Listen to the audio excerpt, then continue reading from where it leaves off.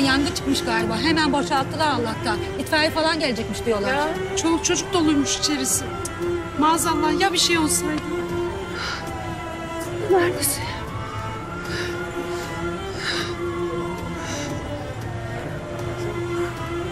Pardon. Size çocuğumu emanet etmiştim. Hatırladınız mı beni? Hemen geleceğim demiştim. Ha evet evet. O da dışarı çıktı. Herkes çıkardılar içeriden. Nereye gitti?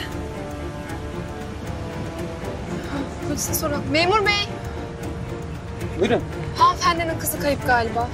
Kızınız kaç yaşındaydı hanımefendi?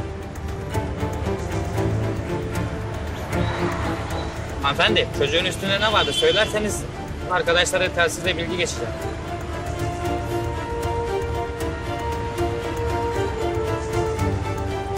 Otobüsten indiğimiz durağın oradaki parktayım anne.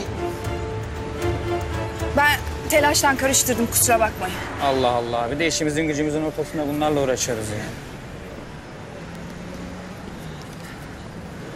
Arkadaşlar lütfen, lütfen zorluk çıkarmayın.